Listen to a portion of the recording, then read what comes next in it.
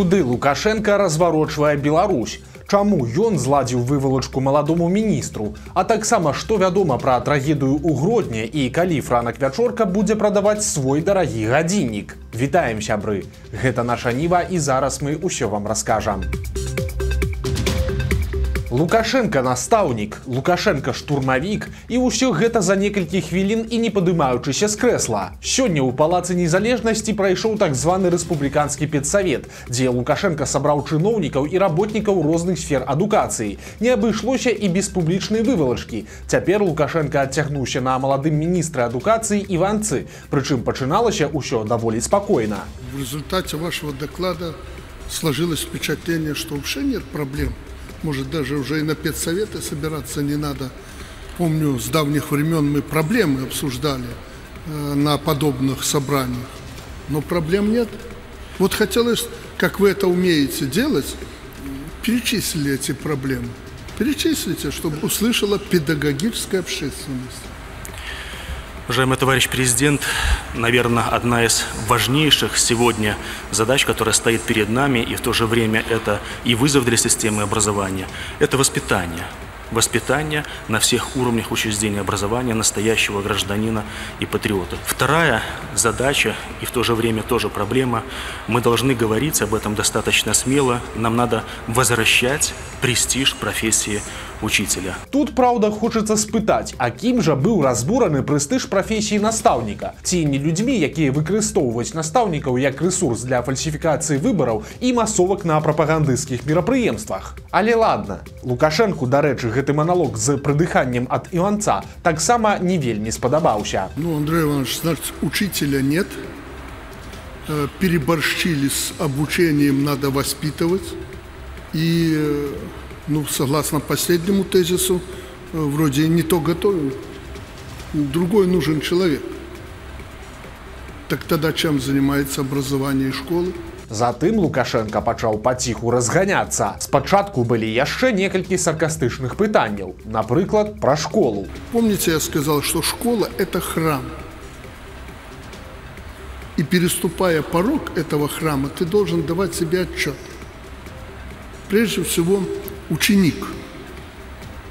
Это выполнено поручение. Школьники в приходе в школу с трепетом – Понимают они, куда они пришли?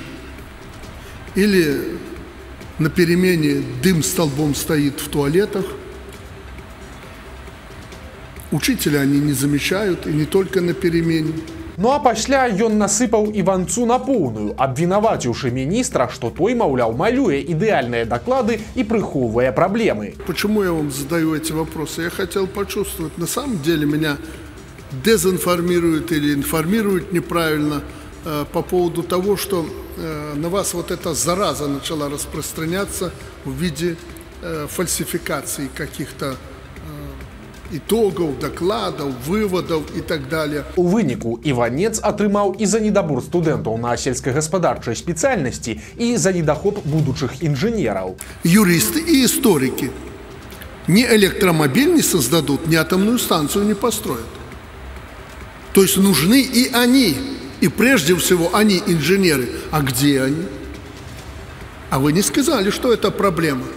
Я, я просто экспромтом называю э, то, что болит э, в стране. То, на что мы обращать внимание должны. Дайшло нават до того, что Лукашенко уже собрался у штурмовый отряд, каб оборонять Беларусь, бо больше, маўляў, няма кому. Якобы вы решили проблему, не только вы, но и другие, в стране по военным специальностям. Страну завтра кто защищать будет? Мы с вами встанем и пойдем. Ну, пойдем. Но много проку от нас будет на фронте, в штурмовых отрядах. Ну а пасля ён нават несвядома сказаў самую, што не на ёсць чыстую праўду. Послухайте сами. Нас, конечно, покажут по телевизору красиво, что мы вот настроены.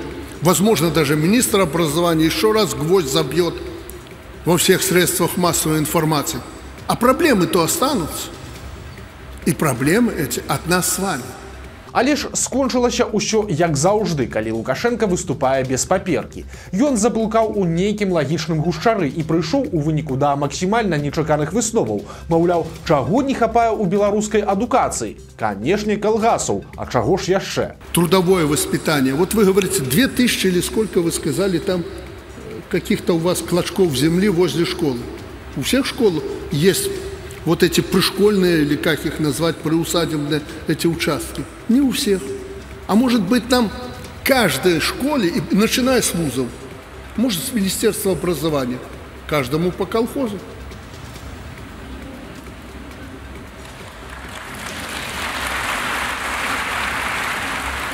А затым Лукашенко, які і так ужо і памежнік, гісторык і вайсковец запісаў сябе яшчэ і ў настаўнікі. Сфера образования для меня важнейшая.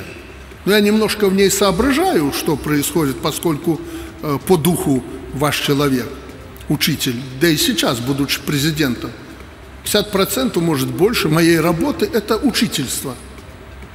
Я должен видеть, анализировать и учить всю страну показывать, вот это надо, вот это, вот это. А иногда у нас, как я правительство упрекал, поставишь задачу, проконтролируешь, не сделано, потом идешь сам делаешь. И следом за тобой кто-то идет, в хорошем случае. Але ж калі адкінуць жарты, то вынік гэтай нарады здаецца такі. Лукашенко добра разумее, што галоўная яго праблема сёння гэта як выхаваць моладзь маўклівай, пакорлівай і яшчэ захаваць яе ў Беларусі. Тут, дарэчы, яго галоўны супернік гэта час і прагрэс, бо любы падлетак, які мае інтэрнэт, штодня бачыць у сваім тэлефоне іншае жыццё. Таму моладзь і не хоча паступаць у сельскагаспадарчую акадэмію і затым ехаць у калгас, а хоча атрымліваць нейкія больш прэстыжныя спецыяльнасці і жыць у горадзе ў добрай кватэры альбо нават у іншай краіне. І гэтая праблема, дарэчы, уласцівая многім краінам, а не толькі Беларусі, але ж у нас яе вырашаюць, як і ўсё астатняе прымусам. Ну а скончылася ўсё разважаннямі лукашэнкі пра палітыку.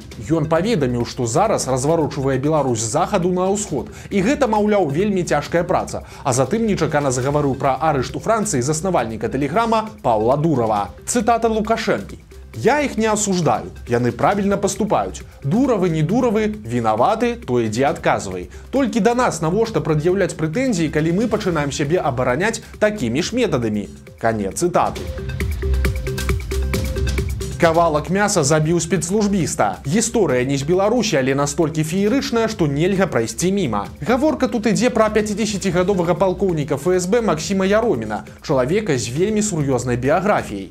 У пачатку налявых ён ездзіў на Каўказ і нават меў дачынення да ліквідацыі шэрагу вядомых палявых камандзіраў. У выніку ён даслужыўся да палкоўніка ФСБ і атрымаў пасаду начальніка аддзела па барацьбе з тэрарызмам. Але ж 25 жніўня проста падчас сямейнай вячэры палкоўнік падавіўся кавалкам кусочкам мяса. Сваякі выклікалі медыкаў, спецслужбіста хутка даставілі ў бальніцу, але ж выратаваць не змаглі. Афіцыйнай прычынай смерці стала механічная асфіксія. Атака другія суткі запар. Расія сёння ночу працягнула біць па ўкраіне. Зноў выкарысталі дзесяткі ракет і дронаў камікадзе. Гэтым разам выбухі прагучалі ў крывым розе, Киеве, Запорожжа і Хмяльніцкай вобласці. Вядома, што расіяне выкарысталі найменш 80 беспілотнікаў, а таксама балістычныя і крылатыя ракеты. Загінулі як мінімум пяцёра чалавек, пашкоджаныя жылыя дамы і крамы. Пры гэтым расійскія дроны шахеды зноў заляталі ў Беларусь. Маніторынгавая група беларускі гаюн паведамляе паведамляе, што было найменш 6 такіх страшных гасцей. Прычым на гэты раз беларуская авіяцыя дзяжурыла ў небе ўсю ноч. Для перахопу беспілотнікаў падымалі знішчальнік з аэрадрома баранавічаў. Магчыма, адзін ці некалькі дронаў збілі ці тыя упалі самі, бо жыхары гомеля паведамілі, што сёння ўначы на поўдні горада чулі загадкавы моцны выбух. Такая страшная актыўнасць расіян з'яўляецца помстай украінцам за іх аперацыю под курскам, бо украінцы дзейнічаюць там не проста паспяхова, а вельмі паспяхова. Цяпер Цяпер галоўнакамандуючы ЗСУ сырскі заявіў, што украінская армія заняла ўжо сотню населеных пунктаў у курскай вобласці. У палон трапілі каля 6 сотень расійскіх вайскоўцаў. Пад кантролем украінцаў знаходзіцца амаль 1300 кіламетраў расійскай тэрыторыі. Прычым выціснуць іх расіяне не могуць і вымушаныя здымаць сілы з іншых кірункаў. Сырскі таксама заявіў, што расійскае камандаванне ўжо перакінула на курск блізу 30 тысяч салдат і што гэтая лічба толькі расце. Загадкавая гибель беларуса ў рассіі. Нашага суайчынніка знайшлі нежывым проста ў канаве на трасе Москва-Петербург. Побач стаяў яго пусты аўтамабіль, але што здарылася дакладна пакуль невядома. Асоба загінулага таксама высвятляецца, але ёсць інфармацыя, што на руках былі шматлікія рэзаныя раны. Падобна, што мужчына адбіваўся ад нападніка з ножом, але ж не змог выратавацца. Таксама ў рассіі загінула беларуская блогерка Люся Назаренко, якая распавядала пра моду і стыль, б'юці лайфхакі, вандроўкі і рабіла агляд агляды на розныя цікавыя месцы ў мінску. Жанчына нарадзілася ў расійскім севераморску, але даўно жыла ў беларускай сталіцы, дзе выйшла замуж і нарадзіла дзіця. І вось нядаўна блогерка паехала на радзіму, дзе ў яе аўто уляцеў бяспраўнік на матацыкле. Вынік сумны загінулі і матацыкліст са сваёй пасажыркай і Люся Назаранка. Трагедыя адбылася ў грудні. Там 42гадовая жанчына лягла ў бальніцу на аперацыю па памяншэнні страўніка. Вядома, што працэдуру праводзілі 21 жніўня ў гродзенскай універсітэцкай клініцы, але праз нейкі час пасля хірургічнага ўмяшання пацыентка памерла. Што стала прычынай невядома, ані міністэрства аховы здароўя, ані следчы камітэт, ані пракуратура пакуль нічога не паведамлялі пра гэтую трагедыю. Франак вячорка выставіць на аукцыён свой скандальны гадзіннік. Нагадаем, што нейкі час таму на руцэ ў вячоркі заўважылі дарагі швейцарскі гадзіннік Амегасімастер, які каштуе ад 5 до 9 тысяч даляраў. Але па словах франаках гэта быў проста падарунак ад знаёмага. Але ад скандала такія тлумачэнні не выратавалі. Гісторыя нарабіла шмат шуму і пра яе ўскосна выказваўся нават Лукашенко. Вячорка зразумеў сваю памылку і паабяцаў выставіць гадзіннік на дабрачынны аукцыён. І цяпер паведаміў дэталі. Па яго словах аукцыён пройдзе ці падчас другога марафона салідарнасці з палітвязнямі ці падчас эстафеты салідарнасці. Плануецца, што гэта адбудзецца праз пару месяцаў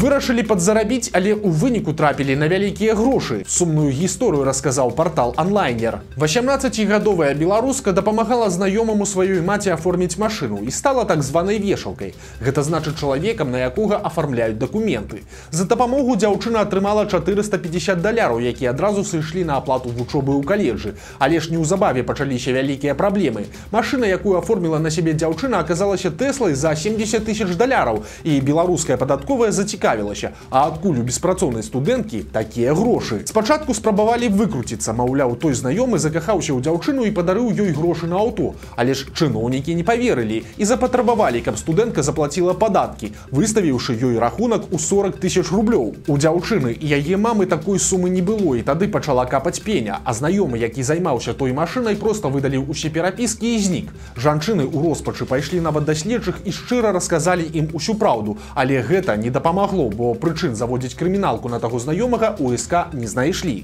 Беларускія суды таксама вырашылі, што калі дзяўчына аформіла машыну і заплаціла ў тэлесбор, то значыць хай цяпер сама і адказвае. У выніку гэтай сітуацыі ўсё жыццё сям'і пайшло на перакасяк. Студэнтка праз даўгі не выязная за мяжу, а яе маці, спрабуючы дамагчыся справядлівасці патраціла 4 тысячи на юрыстаў, але засталася ні з чым. Тым часам жанчыны мусяць заплаціць ужо 50 тысяч рублёў, прычым сума штодня павялічваецца, бо па-ранейшаму ပွဲပညာ Ліса прыйшла ў зоапарк, каб паглядзець на тыгра. У гродзенскім зоапарку знялі незвычайную наведавальніцу. Дзікая ліса забегла туды і спакойна шпацыравала па сцежках між вальерамі. Прычым апошнім часам у гарадах заўважаюць усё больш і больш дзікіх жывёлаў. Таму на ўсякі выпадак нагадаем, калі раптам сустрэнеце такога гостя, то не набліжайцеся і ні ў якім выпадку не спрабуйце пагладзіць ці пакарміць. Бо акрамя небяспекі, што вас пакусаюць, ёсць і яшчэ адна. Дзікія жывёлы могуць быць разносчыкамі знакамі шаленства. А ў мінску мясцовых жыхароў давялі да шаленства парады светлафора. Каля іх дома паставілі светлафор з гукам, які час ад часу нагадвае, напрыклад, як правільна пераходзіць дарогу.